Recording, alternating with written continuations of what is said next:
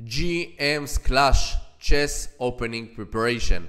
Hello everyone and welcome back. So today you will learn why it's so important to prepare against your opponents and how can you catch your opponent in the opening. So today we will see a match between Daniel Dardha, Grandmaster from Belgium against Kirill Alekseenko, one of the best players in the world, number 51 uh, for now and also he played in the candidates tournament he born in Russia and now he represents Austria. So before I will start, I really want to start it with you. Come on, let's see it.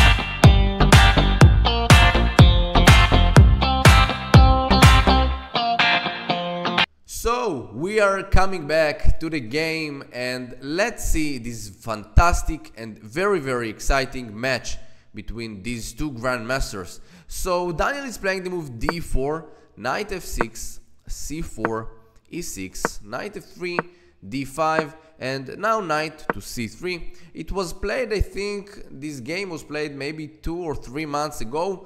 Um, yeah, it was played I think in Spain if I'm not mistaken and yeah it was like Menorca Open 2024 um, three months ago. Right. Great. So after knight c3 of course there are several moves. Bishop b4 for example. Um, c6 maybe the Slav um, I don't know, knight bd7 also an option, but Kirill is playing the move d takes c4, and it should be fine for uh, for for black. You know, it's to equalize the position. Uh, for example, e4 there are several options, also bishop, bishop b4, b5. A lot of theory here, and uh, yeah, it's it's something that you you should know if you want to play uh, for both sides. But Daniel Dardha is playing the move e3. And Kirill is playing the move a6. The point that after bishop takes c4, uh, black's plan is to play b5, bishop b3, and bishop b7. With uh, the next move will be c5, knight bd7, rook c8, bishop e7, castle, and black is totally fine in this position. Really, really equal position.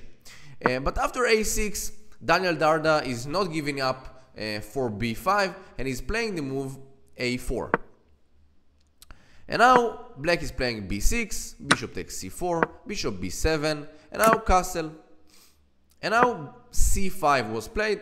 Of course, after d takes c5, for example, just queen takes d1, I think, rook takes, and bishop c5. And black is totally fine.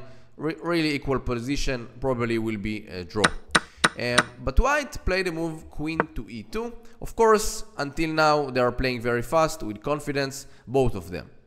Now, black is playing the move queen to c7 also makes sense because he is understanding that rook d1 will be the next move obviously. And rook d1 uh, of course was played. Knight bd7 black wants to develop with bishop e7 castle and connect the rooks rook fd8 rook ac8 and to say okay everything is fine. I don't have trouble. Of course he must think about this a6 pawn, so rook ac8 will not be uh, immediately but this was um, his plan and now white played fantastic move. Of course, one of the preparation here uh, of Daniel Dardha. I'm sure 100% without talking with him, but yeah, it's it looks like it's a preparation. And he played the move d5. This is really really strong move, and let's see what he's got. So e takes d5 was played, knight takes d5, and now you know Kirill Alekseenko playing you know very very fast with with full confidence knight takes d5 but unfortunately after knight d5 there is this just amazing move for white. But before that i really want to show you. I'm sure that 100% kirill alekseenko thought that bishop takes d5 will be played immediately. Bishop takes rook takes. I don't know bishop e7 probably e4 castle i don't know bishop to b2 right uh, b3 bishop b2 something around knight f6 rook d1, rook d8, or queen b7, and it should be should be very very equal position. I don't know, knight d2, rook fd8, or queen c6, rook fe8. It seems like fine uh, for both of the colors, of course. But surprisingly, in this particular position, also rook d takes d5 may be interesting, but I'm not sure because bishop d6 or bishop e7 seems like black is fine because castle the next move. But here, they're just amazing move by white e4 and you know i really didn't talk uh, with daniel dardha but i'm sure 100% that this position was in his preparation uh, during his morning um, and you know e4 just sacrificing a knight and playing e4 of course e takes d5 this is the threat. And now black has just no moves to play. Because for example knight f4 is really really bad because bishop takes f7 king takes f7 bishop takes f4 of course after queen takes f4 just rook d7 and take the bishop on b7 and of course with this king is just game over. And after bishop f4 for example queen c8 don't forget also queen c4 but also just rook takes d7 queen takes and knight d5 winning the queen and the game so particular position is just amazing. After king d8, I think just queen d2 makes for me a lot of sense. Also queen e3 maybe. Yeah, queen e3.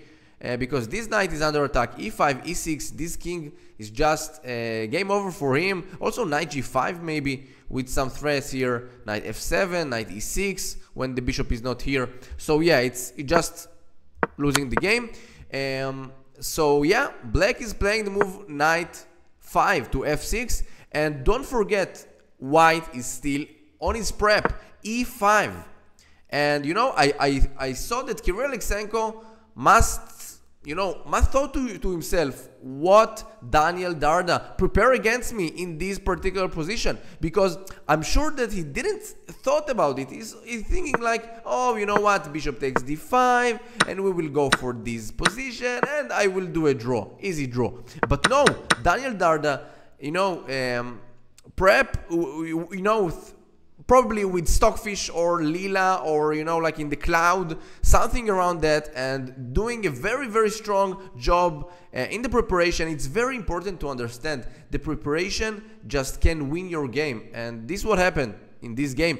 Uh, so e4, black played the move knight 5 to f6, e5. Of course, bishop f3 is not good because queen takes and also the rook is under attack here.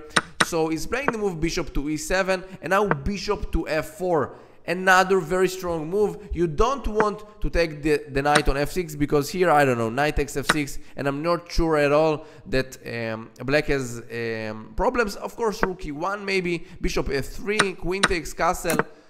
Also, this one, I'm not sure it's so good for black, but of course, everything is fine and black is not uh, losing here, uh, at least, right?